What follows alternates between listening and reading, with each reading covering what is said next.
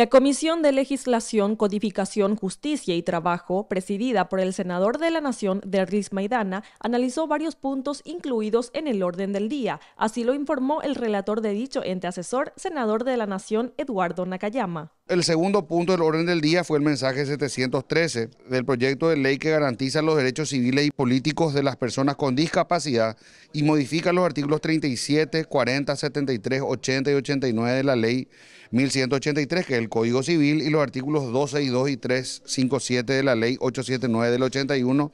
Código de Organización Judicial. Nosotros hemos aprobado con modificaciones este proyecto, es un proyecto muy importante que realmente hace que se garanticen estos derechos civiles y políticos. Y por último, el mensaje del Ministerio de Relaciones Exteriores del proyecto de ley que aprueba el memorándum de entendimiento de cooperación en el área de turismo y en el área de eventos de negocios entre el gobierno de la República del Paraguay y el gobierno del Estado de Qatar. thank you